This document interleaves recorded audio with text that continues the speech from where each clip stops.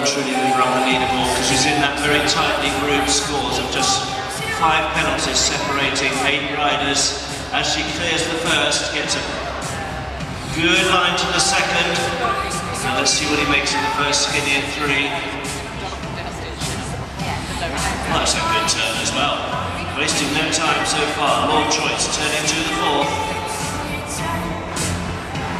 Oh, he stood off a mile. She saw a long stride there and Brett dared to take it. Coming outside the triple brush to this first of the corners at five. Really flowing through the course. Time looking pretty good. Oh, she took a stride out to the double of houses there and as a result yes, She's well on the mark with that landing at eight and clears the corner nine inside the banks. She's ready right for it, but didn't quite get it.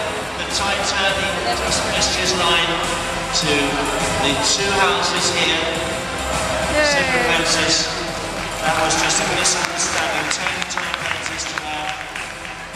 Jumping penalties as they come to the last corner and the triple brush now.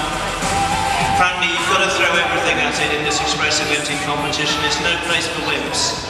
And uh, she was very brave to try those houses, but just didn't quite come off. Last jump to the spread. Carrying 10 penalties jumping